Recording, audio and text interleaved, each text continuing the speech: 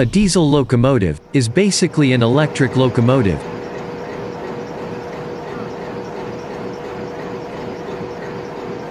A large diesel engine turns a shaft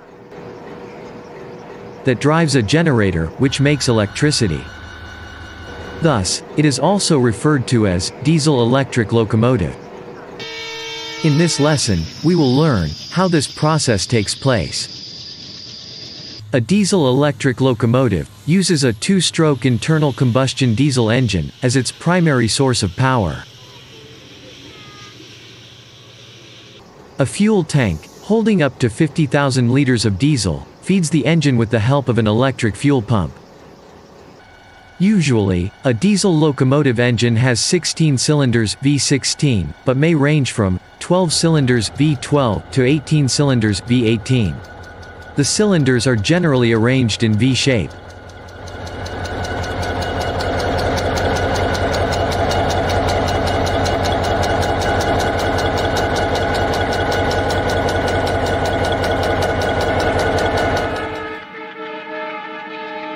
The mechanical power produced by the diesel engine drives the main alternator, which is an electric generator producing alternating current AC. The engine can rotate at up to 1000 rpm, transmitting about 770 volts and 4520 amps. An auxiliary alternator is also present to provide power for heating, cooling, lighting, etc. throughout the locomotive. The output voltage generated by the main alternator is controlled by a transformer.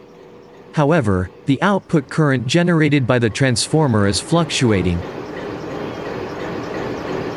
and is passed through a rectifier to convert it into steady direct current DC. Let's see the DC current and AC current. The DC power is again converted into three-phase AC supply by an inverter and fed to the traction motors. The traction motors are connected to the wheel axle, and power the wheel's rotation. Each axle has two wheels, and the whole bogie has a total of six traction motors, connected to each axle. The diesel engine of a locomotive gets very heated, due to the heavy work. A water-based radiator is used as a cooling system, to keep the engine from getting too hot. The traction motor, is cooled by motor blowers. The transformer, rectifier, and inverter are also cooled using blowers.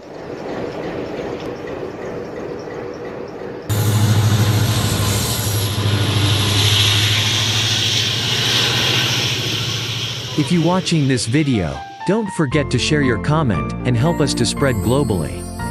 Let's grow up, never stop your learning.